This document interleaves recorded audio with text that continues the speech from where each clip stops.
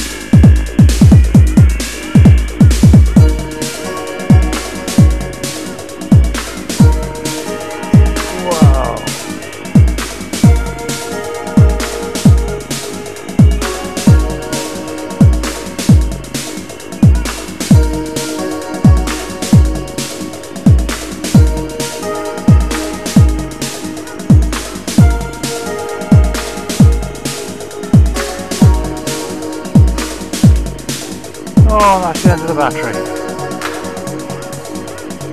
Well, thanks for watching.